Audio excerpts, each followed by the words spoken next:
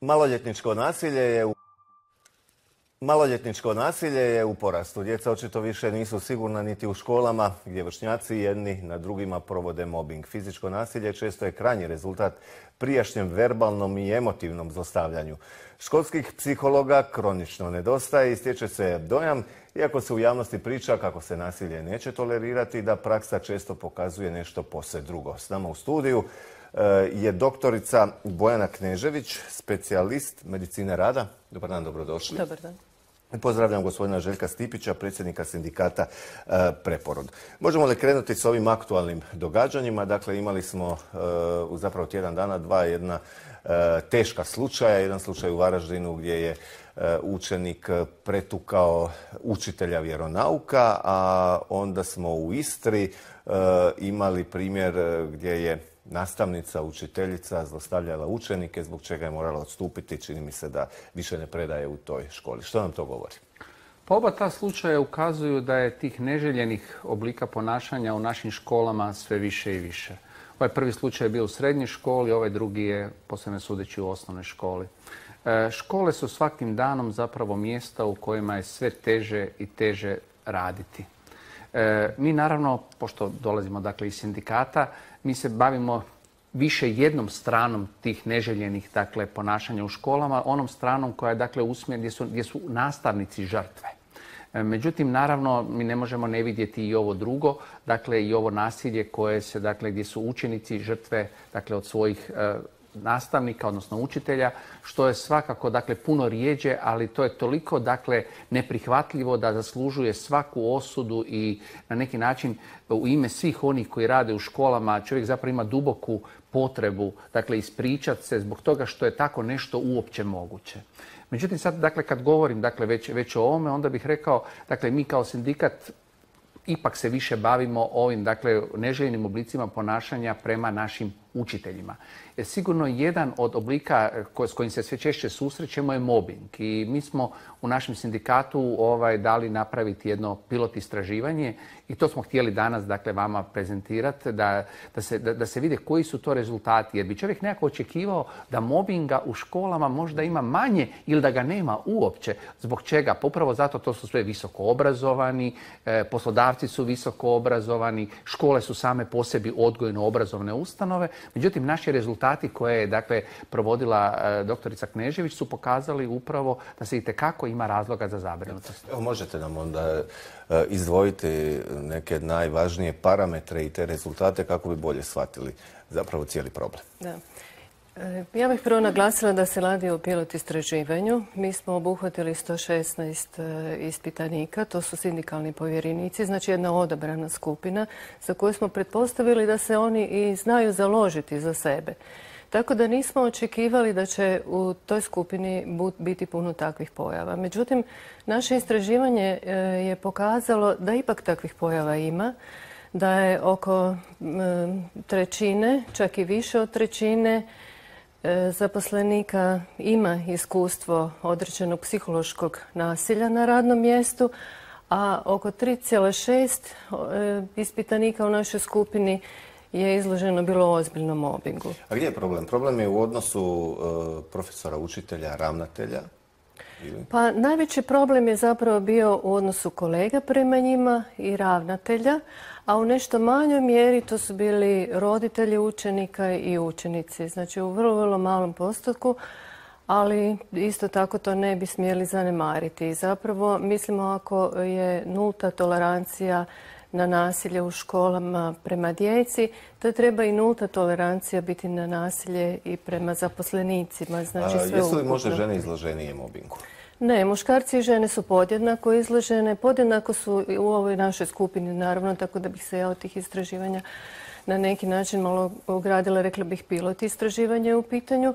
Podjednako su bili izloženi muškarci i žene, mlađi i stari, tako da nismo e, u tom segmentu vidjeli razliku.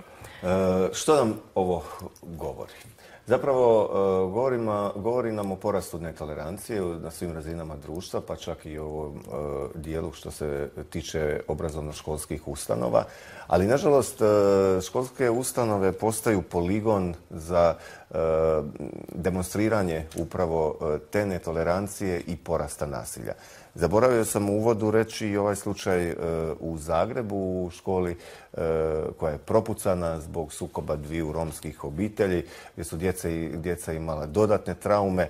Učiteljima da ne govorimo, zapravo njihovu stranu i nismo čuli e, do kraja, osim da su sve institucije, dakle i od grada Zagreba pa čak i od policije već opetovano ili promptno upozoravali na mogućnost eskalacije tog nasilja, ali očito ih nitko nije čuo. Pa sad E, hoće li ih e, institucije čuti što se tiče ovog problema? Pa znate kako, mi se kao i mnogim stvarima u hrvatskom društvu, mi se zapravo borimo, ajmo tako reći, od situacije do situacije. Mi problem vidimo od situacije do situacije. E, nitko se u ovoj zemlji ne želi sustavno dakle, baviti problematikom, jer kad bi se to činilo, onda bi se tu otvorilo čitav niz pitanja. Ja mogu ovdje samo neka otvoriti. Dakle, naše škole su dakle, ustanove u koje zapravo nemaju nikakav vid uopće fizičke zaštite. Znači vi imate nerijetko škole u kojima imate 700-800 učenika i u te škole može ušetati tko hoće i kako hoće, jer ga nitko neće pitati što u toj školi traži. Osim dežurnog učenika. Dežurnog učenika koji nerijetko, ovaj, koji nerijetko ima 10 ili 11 godina. Ovaj, e, ja godinama upozoravam da to nije dobro.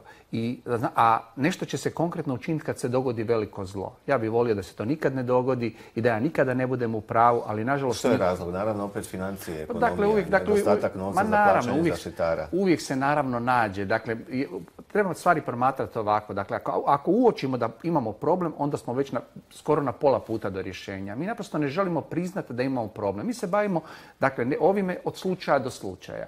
I onda se tri dana o tome govori i nakon toga se ponovo zašuti do nekog novog slučaja. A naravno, i tu ne treba otkrivati toplu vodu. Znate, sve ovo što mi dakle, imamo sad kao problem ima i drugi. Treba samo pogledati dakle, iskustva dakle, u drugim zemljama, onim zemljama s kojima smo se htjeli uspoređivati, pa bismo vidjeli kako su oni postigli tu ipak jednu višu razinu dakle, borbe protiv ovih neželjenih oblika ponašanja u školama. Pritom mora nam biti jasno da to nikad nije moguće do kraja iskorijeniti. Nažalost, mi živimo u društvu gdje, gdje djeca na neki način nasilju se podučavaju od najranije životne dobi. I praktično e, e, škola tu na neki način ona spašava što se spasiti može. E, djeca su kod nas nekoliko sati, 5-6 sati su naša, a čim izađu napolje, oni vide da neke, neka druga pravila vrijede na ulici. Vrlo često vide da neka vrlo bezobzirna pravila vladaju u njihovoj obitelji. Kada, neću ni govoriti kad se, kad se izlože medijima, dakle što tamo vide. I naravno da mi tu na neki način vodimo jednu u bitku koju nije lako dobiti. Međutim, koliko imate službenih prijava za mobbing evo, od strane nastavnika, učitelja? Pa evo, ja ću vam reći, dakle, mi smo, kad općenito, dakle, mi gledamo mobbing kao jedan oblik neželjenog ponašanja u školama. Unatrag, recimo, jedno 5-6 godina, e, e, tih neželjenih oblika ponašanja je bilo negdje između 2 i 2,5 tisuća registriranih. I onda se je to prestalo zbrajati. Tako da mi unatrag 5-6 godina više i ne znamo koliko toga ima, osim eto tako kad pročitamo u novinama da se dogodilo ovdje, dogodilo se ondje. To je jedno, dakle. A što se tiče samog mobinga, znate, mobbing, e, mi u sindikatu, mi, kad doznamo dakle za nešto, kad nam se obrate naši članovi za pomoć, E, to su obično oni slučajevi kad je već stvar otišla jako, jako predaleko. I onda e, s jedne strane e, morate tu osobu ili, ili je već potrebna dakle, u zdravstvena skrb, dakle morate ju na neki način uputiti liječniku ili pak morate, dakle stvar je otišla dakle, prema odvjetniku. prema, prema, prema odvjetniku. Dakle, a ovo naše istraživanje, dakle o kome govorimo, njegov smisao jeste to da na neki način mi utvrdimo što je to dakle u ovom trenutku, da imamo pravo, pravu sliku stvari u ovom trenutku i da onda pokušamo s jedne strane kroz prevenciju, kroz edukaciju naših povjerenika, na neki način ne samo povjerenika, e, učiniti sve da e, toga bude manje. Dobro, nije samo e, mobbing karakterističan za školske ustanove, njega nažalost ima i zapravo u svim djelatnostima u Hrvatskoj. Zbog čega je to tako? Zašto je takav oblik zlostavljanja u porastu u našem društvu? Pa, mislim da nije zapravo u porastu, da ono postoji od uvijek, ali se počelo zapravo uočavati i pa više govoriti o tome. Pa onda zato imamo osjećaj kao da je u porastu. Europske istraživanja još prije 8 godina su pokazala da je oko 9% zaposlenih u Europskoj uniji izloženi mobingu, a to je oko 13 milijuna zaposlenika. Znači veliki broj zaposlenika je zapravo izložen mobingu i e, postoje isto tako modeli preventivnih aktivnosti koji se mogu primijeniti u radnim organizacijama. Mislim da tu veliku ulogu može imati i medicina rada kao struka jer ona ima Dobro, kontakt sa pomoć može e, dati medicina rada ili sindikati? Dakle, u takvim slučajevima kome se e, obratiti da bi se postiglo što bolje i brže rješenje. Ako ste mobbingirani od strane poslodavca, odnosno predstavnika poslodavaca, onda nema smisla njemu, to prijavljivati, ali recimo da je to neka prva instanca, bar teoretski. Prva instanca je naravno obratiti se e, za zaštitu dostojanstva radnika svom poslodavcu. E, sljedeća instanca mogu biti sindikati, liječnik opće medicine ukoliko je došlo do određenih zdravstvenih tegoba, E, psiholog, a medicina rada je isto tako poveznica između poslodavca i radnika koja isto tako može kroz svoje aktivnosti, mislim da može dosta učiniti. U razgovoru sa poslodavcem jako je važno osvijestiti problem, naučiti pravilna ponašanja, kako razgovarati na radnom mjestu i zapravo svima osigurati zdravo radno mjesto. To je ono što je zapravo cilj medicine rada. I... Gdje smo mi izgubili taj pojam zdravo radno mjesto? Ne mislim samo u školama. Pa nažalost jesmo sve više i više. Vi ste dotakli jedan, jedan vrlo ozbiljan segment dakle, cijelog tog problema, a to je dakle, situacija u kojoj je zapravo poslodavac potencijalno izlostavljač. Mi u školama već unatrag deseta godina imamo kroz kolektivne ugovore osobu koja je zadužena, upravo se tako zove, za dostojanstvo, dakle za zaštitu dostojanstva zaposlenika. Međutim, tu je veliki problem ako je ta osoba pod utjecajem ravnatelja. I sad ako vi imate dakle, tu situaciju da, se, da je e, ravnatelj osoba koja je ili zlostavljač ili osoba koja na neki način podržava kolegu koji je zlostavljač, onda ste vi u jako teškoj situaciji. Nažalost, ono što nama u sindikatima ostaje, to je sve veći broj sudskih sporova. E, nažalost, e, znamo kakvo je hrvatsko pravosuđe, ti postupci vam se vode nerijetko godinu, dvije, tri. Imali smo čak slučajeva da je osoba zapravo i preminula dok je postupak, dok je postupak završio. Ovaj, tako da su to sve jako, jako teške situacije. Međutim, e, uloga sindikata je dakle pomoći radniku u takvoj situaciji svim onim sredstvima koja nam stoje na raspolaganju.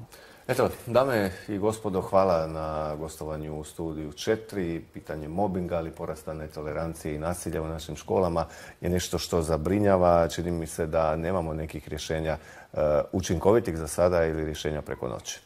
Hvala lijepo.